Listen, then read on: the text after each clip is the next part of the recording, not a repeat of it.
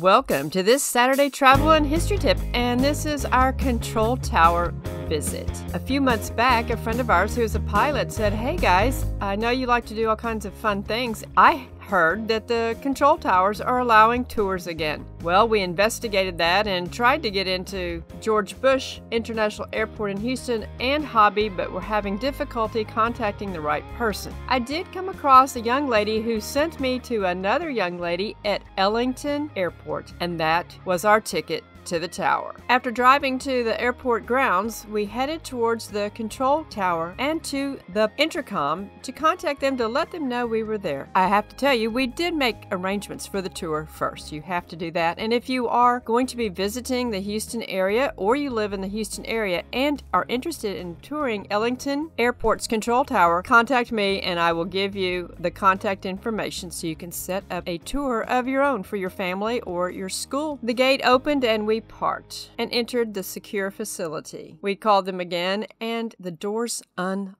locked. The new tower at Ellington Airport was built for safety, operational success, and growth. As a modern, fully equipped tower for aviation and space flight operations, the tower was built to support leading edge technology and a robust infrastructure, and it is a beautiful facility. Most of the traffic there at that airport is military of some sort or related to NASA and corporate. We took the elevator and then walked a flight of stairs up into the control tower area. It was a bright sunny day and the shades were down, and it was a very, um, I would say, relaxed environment. It was great for that kind of thing. There were three employees. One was local control, who was responsible for approach, departure, and tower. There was one in charge of ground control, and our tour guide was in charge of flight data that day. I don't know what you think of when you think of a control tower, but I think of all the old radar screens with the planes blipping along, but this was a beautiful high tech facility. They said, You guys just missed the five F 18s landing. Well, we didn't have to wait long, and four more joined them. So that was exciting to see. And one was being towed over to the Lone Star Flight Museum, which we have been to the Lone Star Flight Museum, and it is a great place to tour. And maybe on a Saturday travel and history tip, I'll take you over there. But it's only a few blocks away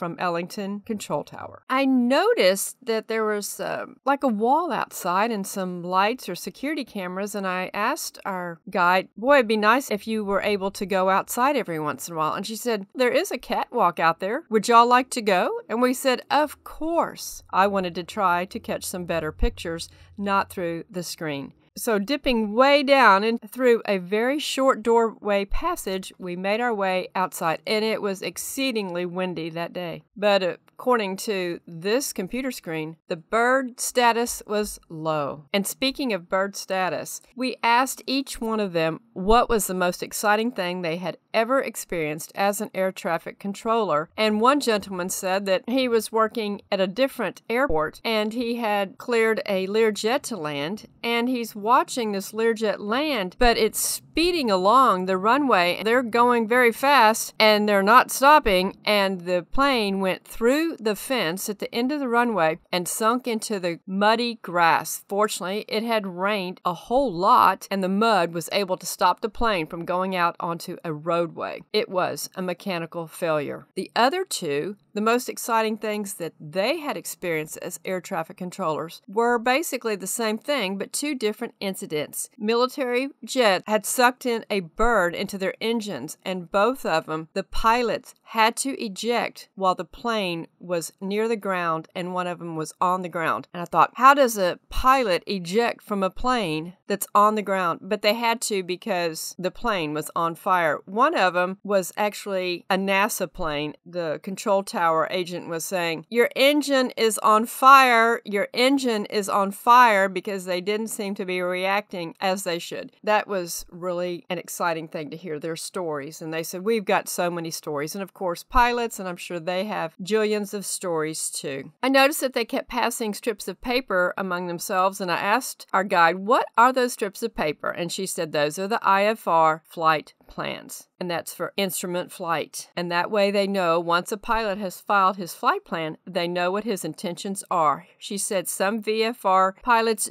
do file flight plans if they were wanting to have flight following. Along with seeing the F 18s, we also saw a fleet of Blackhawks and a fleet of Coast Guard Sikorsky MH 65A Dolphins. These are search and rescue helicopters, and they were doing some practicing around the field, which made our time there even more exciting. I tried to capture some 360 degree views as we walked along outside along the catwalk.